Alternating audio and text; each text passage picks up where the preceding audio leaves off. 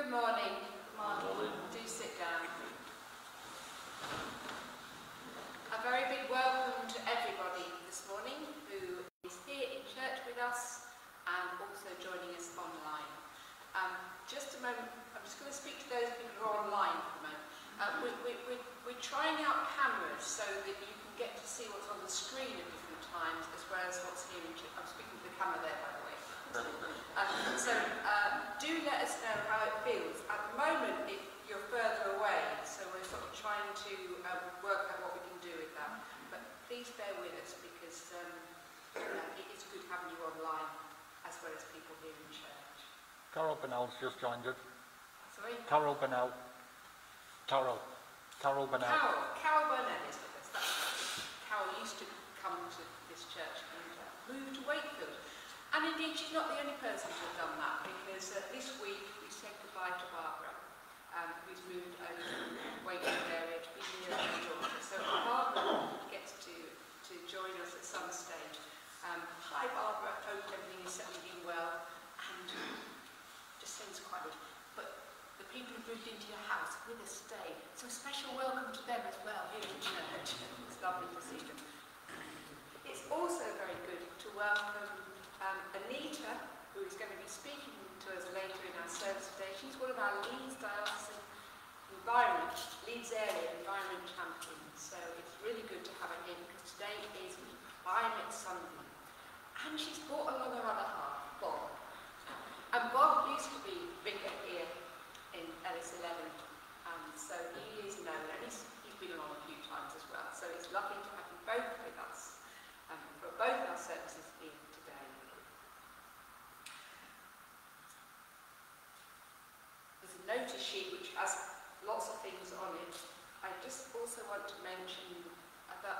saw uh, Elosa and her family, and they may join us on Facebook as well.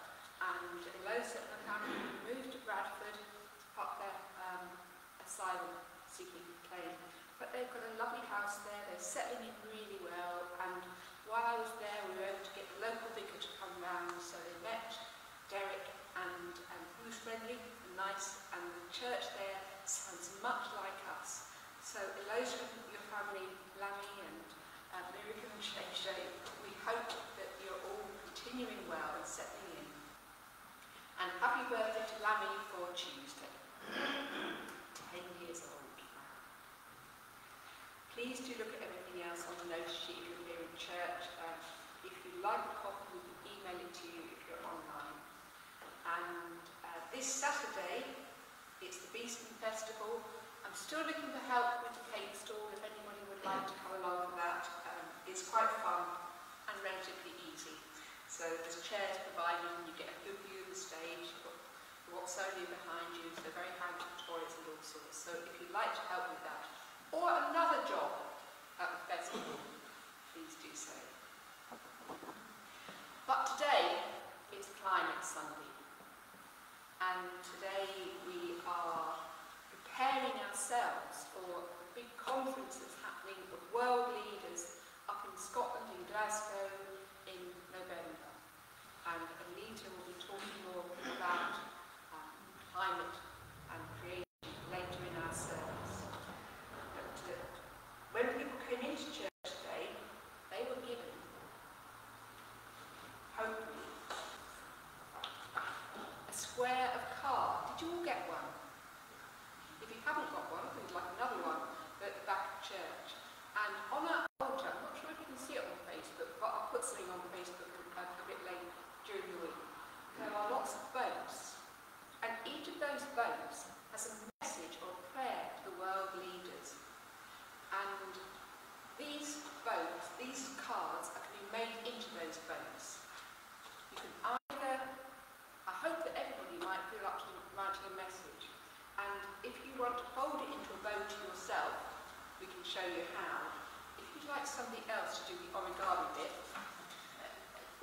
do that for you. And the idea is to have lots of boats on that altar, and then these boats will be going uh, to uh, a central point in Leeds on the 8th of October, where the, they'll be uh, shown to the um, MPs and city council leaders and other people in Leeds. And then they'll be compiled into an exhibition of boats from Christian Aid to give to the world leaders up in Edinburgh, in Glasgow, in Scotland, in November. And we want them to know the strength of opinion, the strength of will that there is for them to take action on climate change, strong concerted action. So please, join your votes, join your words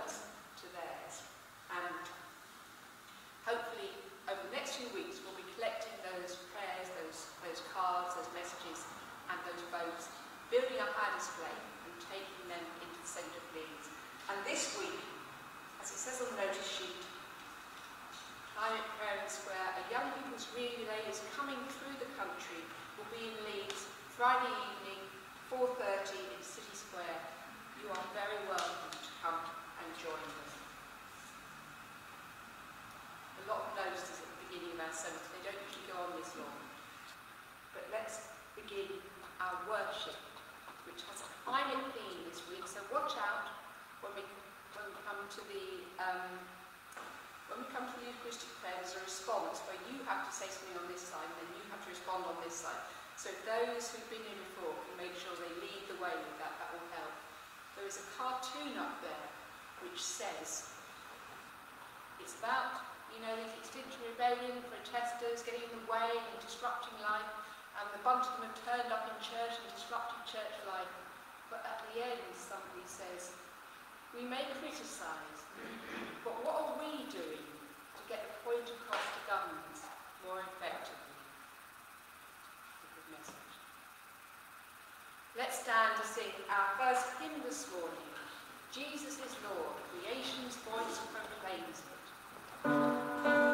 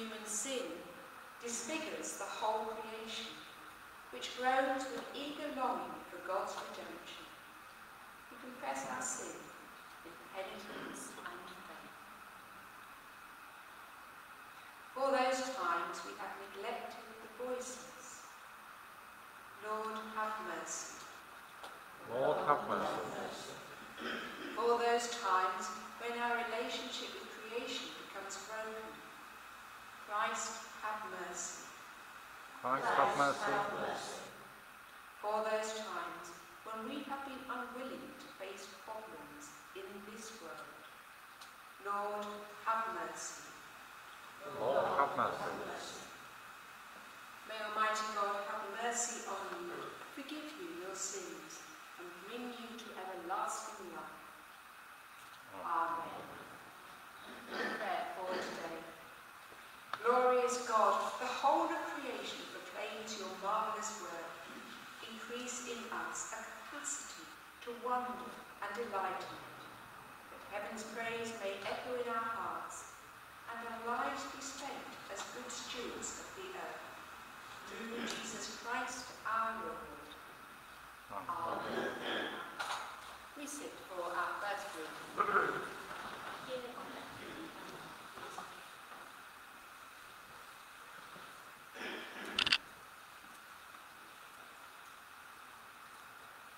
A reading from Psalm 104. Bless the Lord, O my soul. O Lord my God, you are very great. You are clothed with honor and majesty. You make springs gush forth in the valleys. They flow between the hills, giving drink to every wild animal. The wild quench their thirsts. By the streams, the birds of the air have their habitation. They sing among the branches. From your lofty abode, you water the mountains. The earth is satisfied with the fruit of your work. You cause the grass to grow for the cattle, and plants for people to use to bring forth food from the earth, and wine to gladden the oil to make the face shine, and bread to strengthen the human heart. The trees of the Lord are watered abundantly, the cedars of Lebanon that he planted. In them the birds build their nests. The stork has its home in the fir trees. The high mountains are for the wild goats.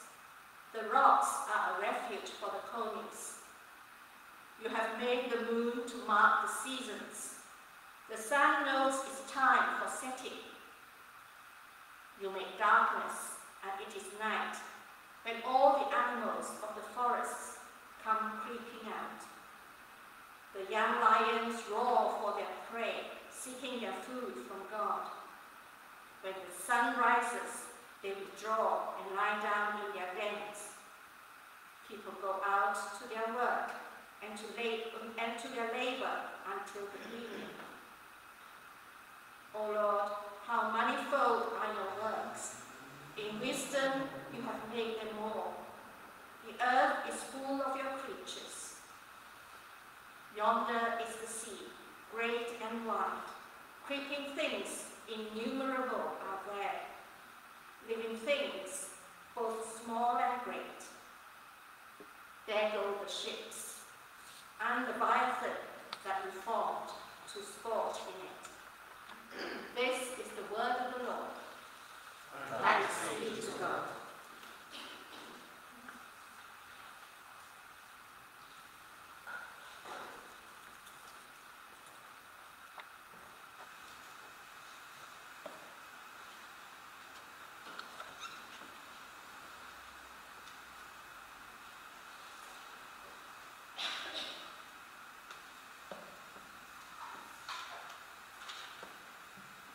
The gospel of our Lord Jesus Christ, according to Mark.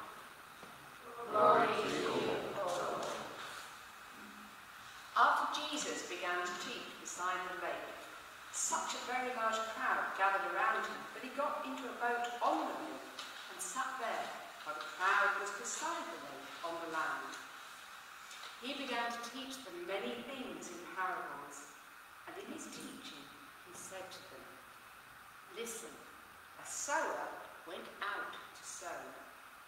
And as he sowed, some seed fell on the path, and the birds came and ate it up. Some seed fell on rocky ground, where it did not have much soil, and it sprang up quickly, since it had no depth of soil. And when the sun rose, it was scorched, and since it had no root, it withered away.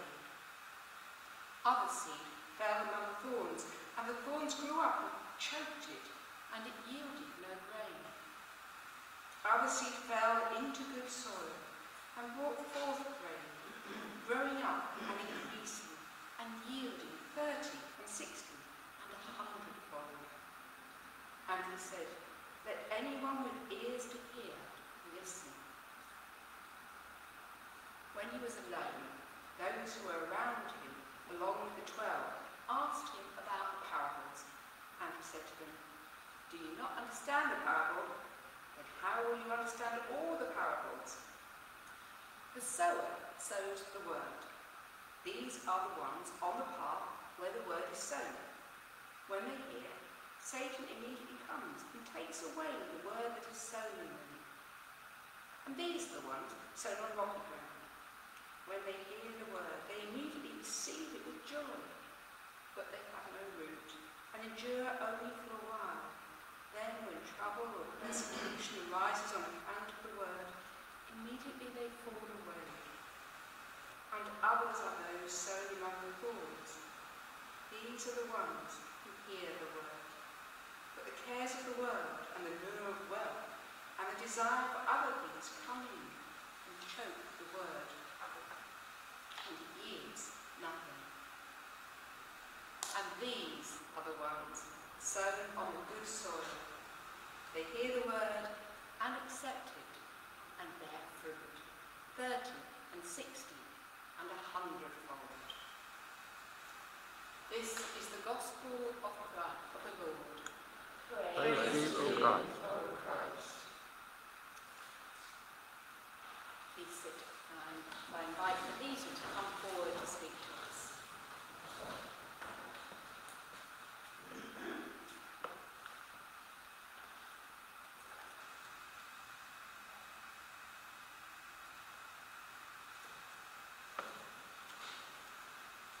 May the words of my mouth and the meditations of our hearts be acceptable in your sight, O Lord, our strength and our Redeemer.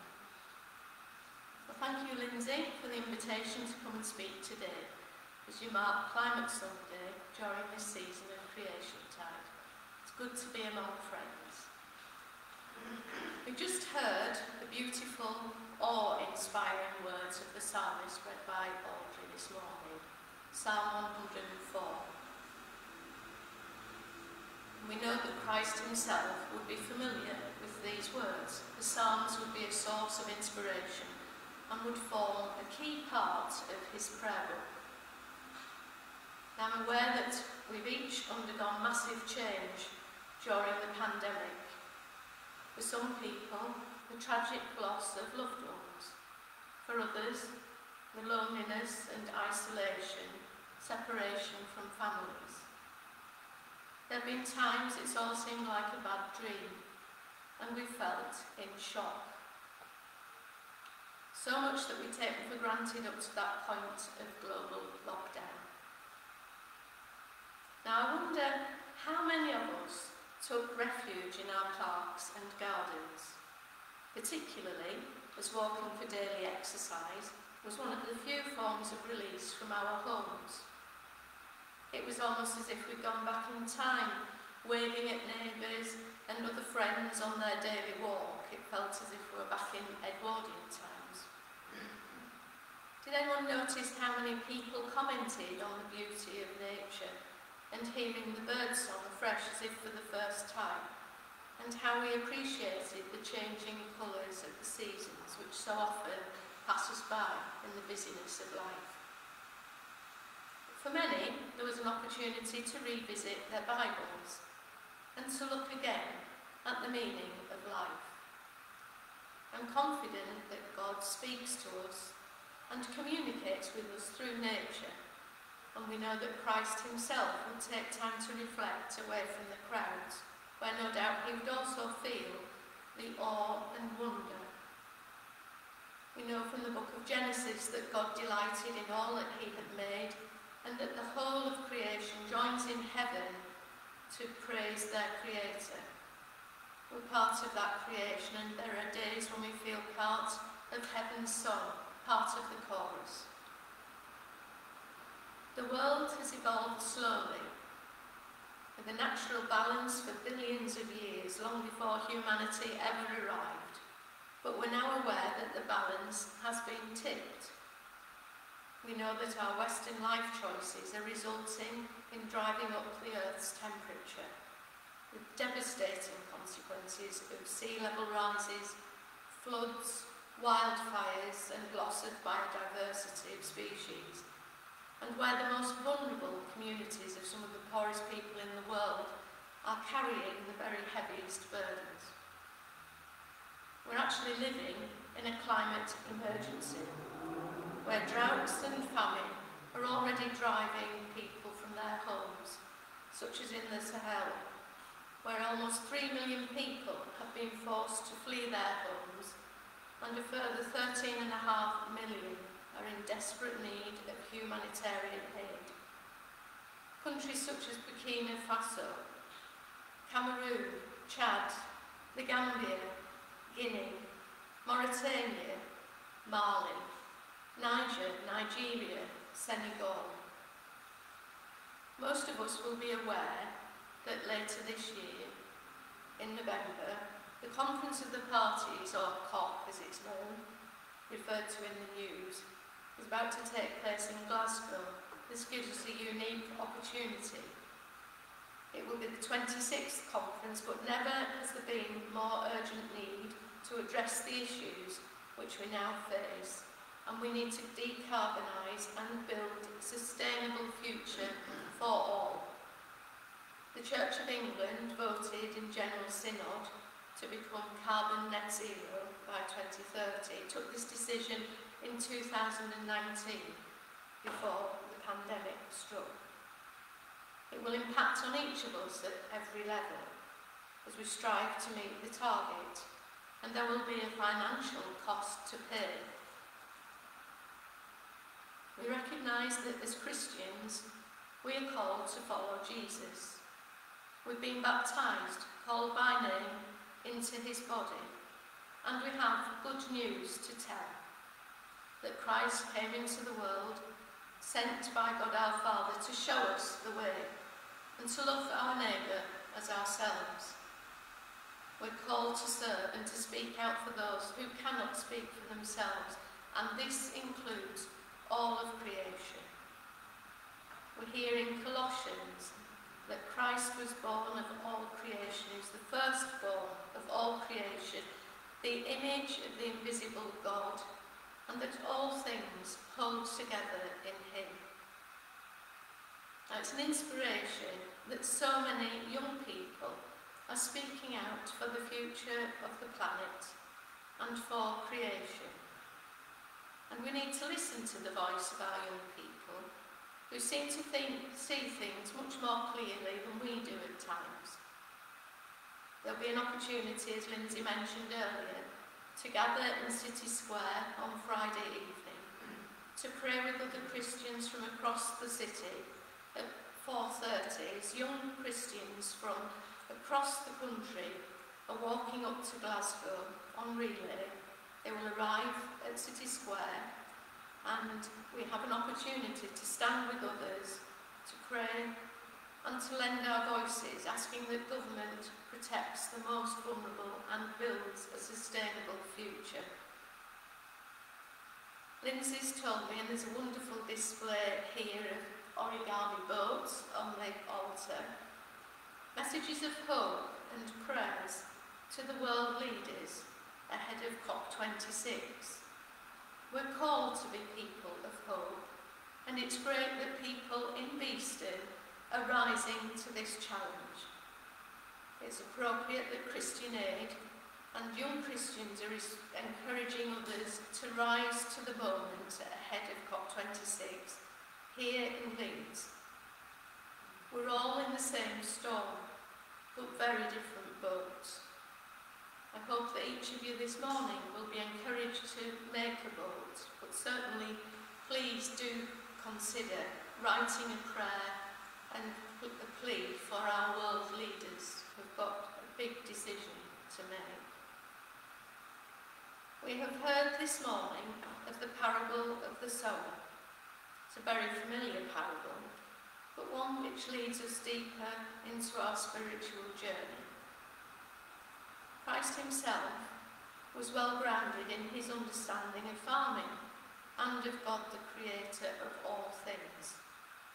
He shared that insight with his followers and encourages us to join him. I think the gospel message continues to inspire us through time and prompts us to respond.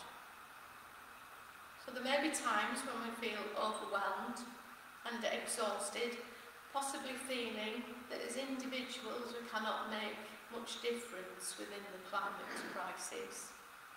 But when we consider that together as one body, the body of Christ, we can work together and make a lasting difference. I feel this is part of the resurrection at work. Christian Aid is working through Christian communities throughout the country, engaging MPs, to put pressure on our government to protect the most vulnerable and build a sustainable future for all. We will need to make sacrifices.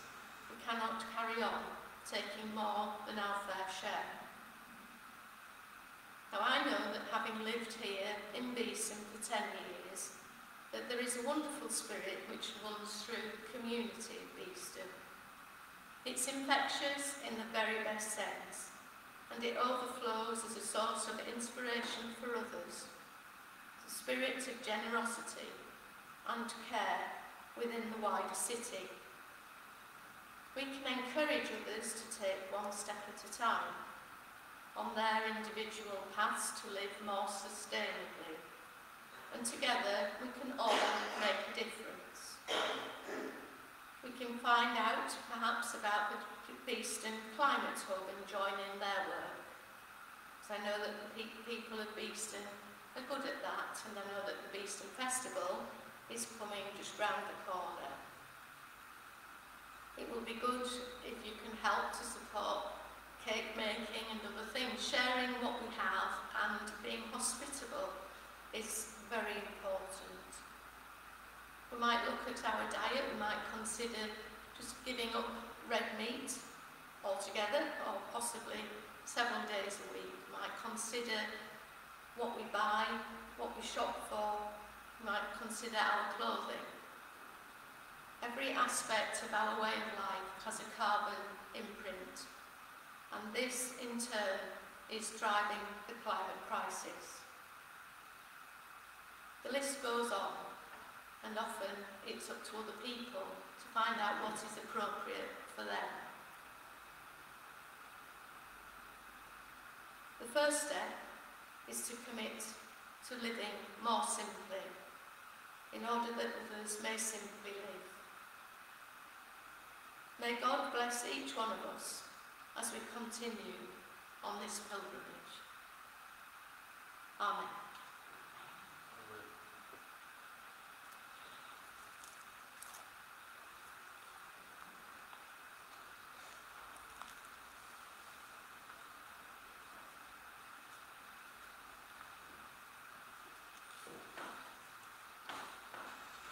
Thank you, Anita.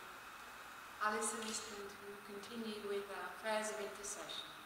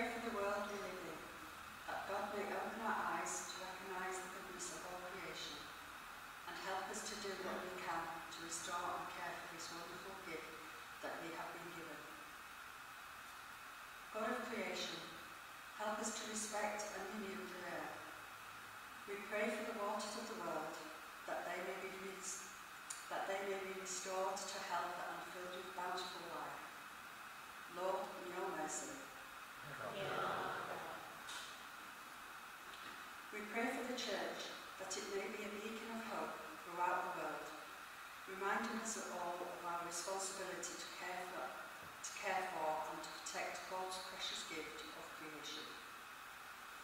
Lord, in your mercy. We pray for the world leaders, that God may grant them wisdom to make just decisions which respect the earth and all that we live in, especially those who are the poorest and most vulnerable. We pray for those people who are already facing droughts, floods and storms, that God may grant them strength and hope for the future as they work to adapt to changing climate. Lord, in your mercy. Hear our prayer. We pray for our parish and local community, that through God's grace we may be good neighbours to each other and to the whole of creation, restoring and caring for all that God has made. God of creation, help us to rescue the abandoned and forgotten of this earth, so precious in your eyes. Bring us healing to our lives, that we may protect the world and not it that we may sow beauty, not pollution and destruction. Lord, your mercy. Prayer. God of creation, teach us to be responsible stewards of this world. May we grow in our love and appreciation for the wonderful variety around us, that through your blessing all may flourish. Merciful Father, Accept blessings for the sake of your Son, our Saviour Jesus Christ.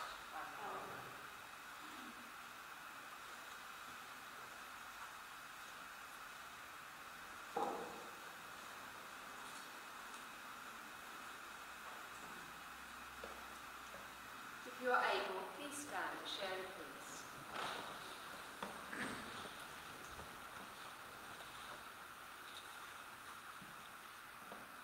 You shall go out in joy and be led back in peace, and the hill, mountains and the hills before you shall burst into song, and all the trees of the field shall clap their hands.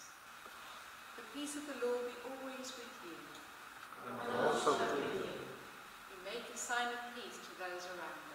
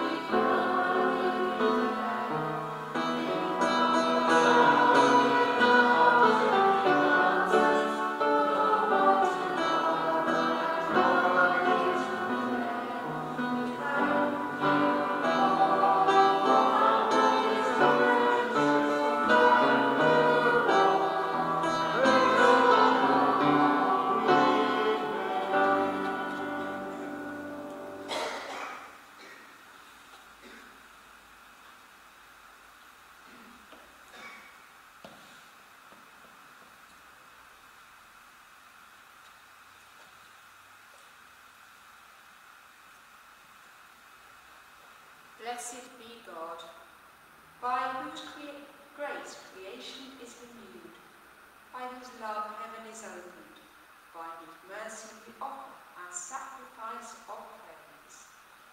Blessed be God forever.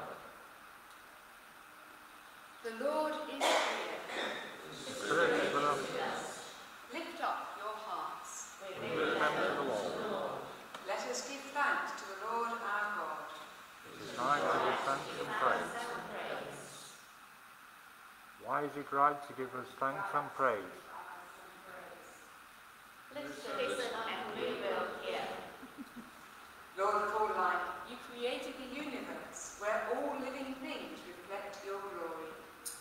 You have given us this great and beautiful earth to discover and to cherish. You made us all, each wonderfully different, to join with the angels and sing your praise. Holy, holy, holy Lord, God of power and might, heaven and earth are full of your glory. Hosanna in the highest. Blessed is he who comes in the name of the Lord. Hosanna in the highest. We thank you, loving Father, because when we turned away, you sent Jesus, your Son. Gave his life for us on the cross and shows us the way to live. Send your Holy Spirit that these gifts of bread and wine may be for us Christ's body and his blood. Why do we share this bread and wine? Listen and we will hear. On the night before he died, when darkness had fallen, Jesus took bread. He gave thanks, broke it, and shared it with his disciples, saying, This is my body given for you. Do this to remember me. After they had eaten, he took the cup of wine, gave thanks, and shared it with his disciples, saying, This is my blood, poured out for you and for many for the forgiveness of sins.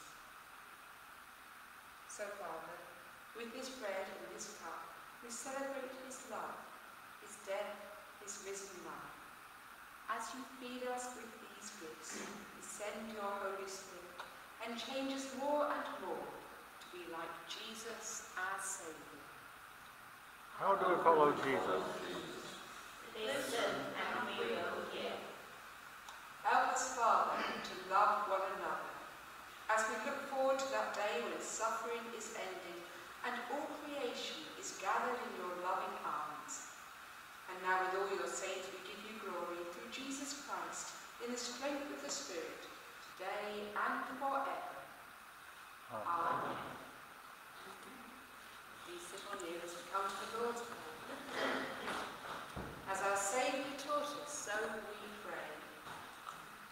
Our Father in heaven, hallowed be your name. Your kingdom come, your will be done, on earth as in heaven. Give us today our daily bread. Forgive us our sins, as we forgive those who sin against us. Lead us not into temptation, but deliver us from evil. The kingdom, power, and the glory are yours, now and forever. Amen. We break this bread to share in the body of Christ. Though we are many, We are we one are body, one body, because we all share share in one bread.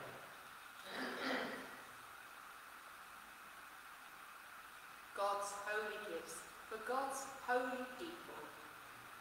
Jesus Christ is holy. Jesus Christ is Lord. To the glory of God the Father.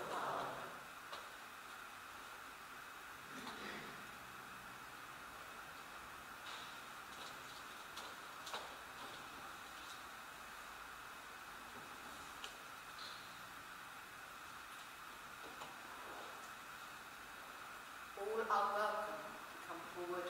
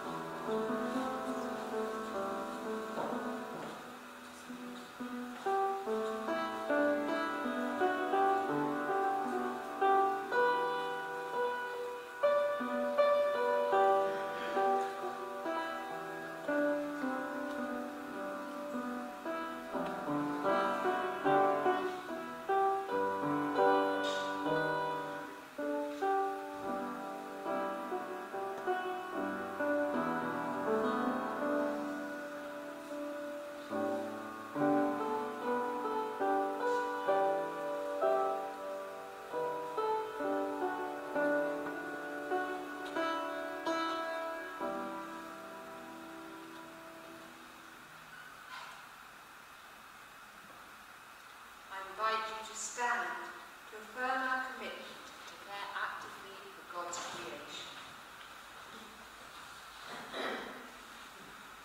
As the whole of creation looks with eager longing for the redemption of humankind, let us pledge ourselves anew to serve our Creator God, the Father who is the maker of all things, the Son through whom all things are made, and the Holy Spirit, the giver of life, who renews the face of the earth.